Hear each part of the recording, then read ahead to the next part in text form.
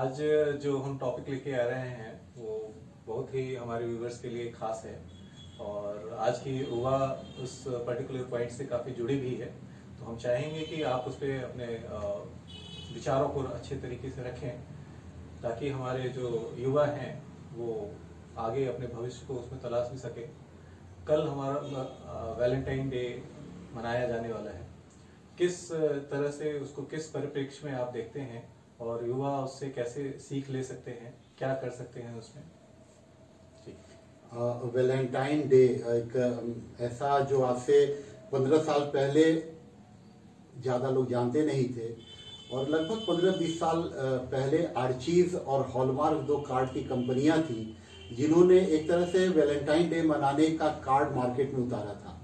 और तब लोगों को ये पता चला था कि ऐसा कोई दिन भी होता है और वैलेंटाइन डे एक दिन का होता है जब लोग अपने प्यारे या जिनको वो चाहते हैं, उनको गिफ्ट करते हैं, उनके बारे में अपना आभार प्रकट करते हैं। धीरे धीरे कार्ड कंपनियाँ तो खत्म हो गई, लेकिन उसके बदले जो मल्टीनेशनल कंपनियाँ थी, उनको ये पता चला कि ये बहुत बड़ा मार्केट है। उसके बाद हॉलमार्क आया, उसके बाद अब तो तनिष्क और कई तरह की जो ज्वेलरीज हैं जो ब्रांडेड ज्वेलरीज है, वो इनको एक तरह से त्योहार की तरह बनाती हैं। तो ये वैलेंटाइन डे बेसिकली कोई कोई पर्व या त्योहार नहीं है, ये मार्केटिंग का एक तरीका है। इस मार्केटिंग के तरीके में हम लोग फंसे हुए हैं और अपने आप को उसमें दाबते चले जा रहे हैं। तो ये कोई त्योहार नहीं है। विदेश में भी जो इसका रूप है या जो इसकी मूल भावना थी, वो अपने अभिन्न मित्र को या जिसके बारे में आपको अच्छा लगता है, उनको एक तरह से अपने समर्पण की भावना या उनके बारे में, उनको गिफ्ट देने की भावना है कि आप हमें अच्छे लगते हैं। उसमें उम्र की या संबंधों का ऐसा कुछ विशेष प्रस्ताव नहीं था। लेकिन धीरे धीरे युवा पीढ़ी को ध्यान में रखते हुए, जैसा हिंदुस्तान युवाओं का देश कहलाता है और यहाँ की युवा पीढ़ी को ध्यान में रखते हुए यहाँ इसमें मूल रूप से युवाओं को ही इसमें लिया गया और प्रेम संबंधों का एक तरह से खुला खेल शुरू करवा दिया गया इसमें, इस वैलेंटाइन डे के नाम पे। तो ये भारतीय संस्कृति की चीज़ नहीं है और इसका विरोध अगर कोई करता है, खुले तौर पे ठीक है। मनाने वालों के पास भी तर्क है कि अगर हम मनाते हैं तो क्या है? और हमारे यहाँ जैसे अगर भारतीय संस्कृति में देखा जाए तो मातृ दिवस, पितृ दिवस और कई ऐसे दिवस है जहाँ हम अपने मित्रों को मित्रों को, यहाँ तक कि हमारे यहाँ तो जो जिनकी मृत्यु हो जाती है पितृपक्ष हम उनके लिए भी आभार प्रकट करते हैं और उनके लिए भी समर्पण हमारे शास्त्रों में लिखा गया है। तो उसमें कोई एक दिन जब हम अपने मित्रों को याद करें या उनके वो गिफ्ट दें तो ये मार्केटिंग के अलावा और ऐसा कुछ नहीं है।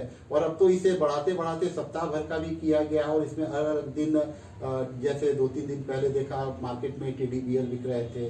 ठीक है, जो लोग इसमें व्यापार में लगे हुए हैं, उनकी कमाई होती है। लेकिन आप उसको एक तरह से, पूरी तरह से हावी होके उसको मनाना ये गलत है। आपको अगर अच्छा लगता है आप स्वयं मनाएँ और ये आपके कमरे घर की चीज़ है आप इसको अंदर मनाएँ। सामाजिक रूप से खुले उस श्रृंखलता के साथ इसे मनाने का कोई औचित्य मुझे नज़र नहीं आता। तो आप ये कहना चाहते हैं कि संत वैलेंटाइन नहीं थे? जैसा आजकल मतलब सुनने में आता है कि संत वैलेंटाइन के कॉन्ट्रीब्यूशंस पे लेके इसको मनाया जाता है।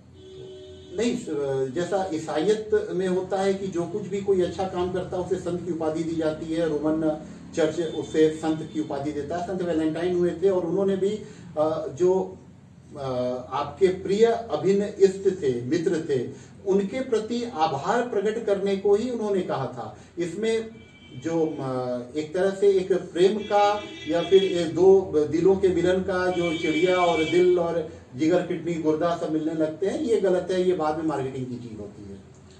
तो इसमें जैसे आप बाकी जो त्यौहार हैं, आप उसमें भी देखेंगे कि मार्केटिंग हावी होती जा रही है। जैसे दिवाली है, दिवाली में आप कहिएगा कि पूरा का पूरा इकोनॉमिक सिस्टम ही रोटेट हो जाता है इंडिया का।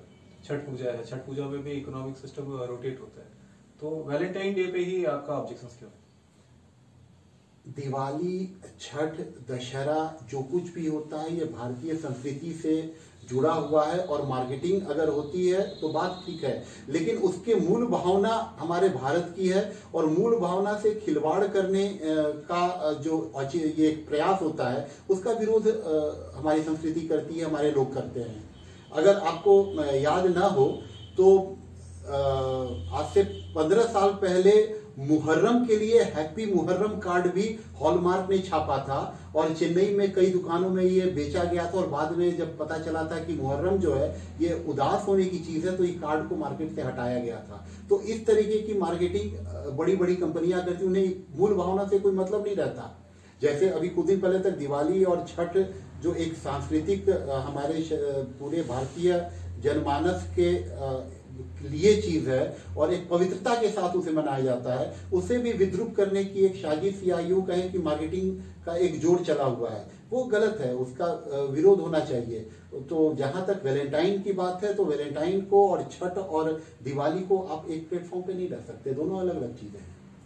देखिए, जब संस्कृति और सभ्यता की बात करते हैं तो सनातन धर्म कहा जाता है कि this is very much open for each and everything तो ऐसा ऐसा क्या है जिसको कि वैलेंटाइन को हम एक्सेप्ट करें तो वो लगे कि वो गड़बड़ है हमारी संस्कृति में ऐसा ऐसा क्या क्या आप, ऐसा क्या समझ रहे नहीं ओपन जहाँ तक स्वामी विवेकानंद ने भी कहा है कि आप एक हाथ से अपनी संस्कृति को पकड़ें और दूसरे हाथ को खुला रखें ताकि जो भी अच्छी भावना, अच्छे विचार आपके पास आ रहे हैं, आप उन्हें ग्रहण करते जाएँ। यहाँ वैलेंटाइन मनाने के वैलेंटाइन डे पर विरोध से ज़्यादा उसके मनाने के तरीके और उसके पीछे की जो भावनाएँ होती हैं, जो आजकल के युवाओं के अंदर में भरी जाती हैं, ये उसका विरोध होना चाहिए।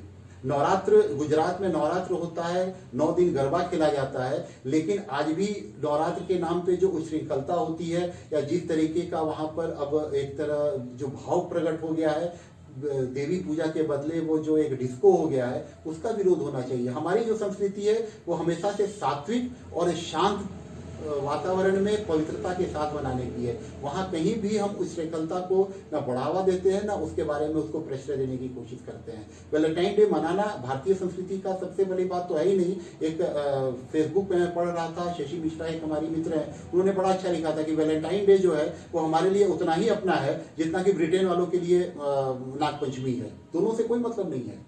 हम वैलेंटाइन डे अगर मनाते हैं तो क्या वो नागपंचमी मनाते हैं, क्या नहीं मनाते?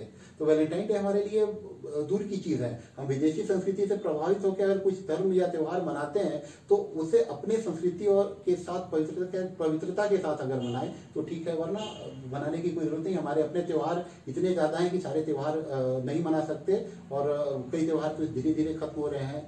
जिसका एक बार हमें सोचना भी पड़ेगा उसके बारे में। कहीं ऐसा तो नहीं है कि हम केवल विरोध के नाम पे ही इस पर्व का विरोध करें क्योंकि युवा काफ़ी अच्छे तरीके से इसको एक्सेप्ट कर चुका है आज की डेट में। अगर आप मतलब आप अगर इस इस जगह पे भी आप अगर देखेंगे तो आपको मार्केट भी दिखेगा मार्केट में लोगों को की आवाजाही भी दिखेगी। तो के, केवल हम ये समझे कि केवल ये विरोध है इसीलिए हमें विरोध करना है कि हमारी संस्कृति का हिस्सा नहीं है। ये ये इम्पोर्टेंट तो नहीं होना चाहिए। सवाल में ही आपका जवाब आया, क्योंकि संस्कृति का नहीं है, इसलिए हमें विरोध करना है। मार्केट में जो युवाओं को अच्छा लगता है, वो तो कई चीज़ अच्छी लगती है। अभी सुशांत केस हुआ है और उसमें जिस तरीके से युवा पीढ़ी के लोग ड्रग के नशे में धूत पाए गए हैं और कई हीरोइन जाते वो भी युवा हैं और वो एक तरह से आइकन है। लेकिन क्या उनके किए कराए पे हम लोग अपना समर्थन देते हैं क्या? तो ये भी एक प्रश्न विचारणीय प्रश्न है। तो युवाओं को आप किस आधार पर किस ओर ले जा रहे हैं या अपनी संस्कृति से विमुख कर रहे हैं, इस पर भी ये बहुत बड़ी ध्यान है। और वेलेंटाइन डे का विरोध नहीं है। वेलेंटाइन डे के पीछे की जो भावना है, जो बनाई गई या जिस तरीके से वो बनती जा रही है, हमें उसका विरोध करना है। क्योंकि अगर आप किसी अपने पिता या माता या बहन और अपने भाई, अपने गुरु, अपने किसी को भी अगर समर्पण करते हैं, आज के दिन उन्हें एक कॉल करके नमस्कार करते उनके बारे में अगर बातचीत करते हैं, वैलेंटाइन डे के दिन तो ये उसका एक मूल उद्देश्य होना चाहिए। लेकिन दो युवा पार्क में झाड़ी के पीछे ही मिले, ये वैलेंटाइन डे ना कहता है और ना ये होना चाहिए, और इसका विरोध हो रहा है और होना भी चाहिए। ये आज के, के हमारे मुख्य अतिथि थे जन मीडिया टीवी में शुभ्रांशु जी जो कि विवेकानंद केंद्र प्रयागराज के सदस्य हैं और सक्रिय कार्यकर्ता भी हैं। तो आज की बातचीत में इतना ही। मुझे उम्मीद है कि हमारे युवा वर्ग इनकी बातों को समझ सकेंगे और उनसे जो भी प्रेरणा लेने वाली बात है वो ज़रूर प्रेरित होंगे। नेक्स्ट एपिसोड में हम लोग फिर से मुलाकात करेंगे। कैमरामैन विनीता तिवारी के साथ मैं विकास मिश्रा जन मीडिया टीवी। धन्यवाद।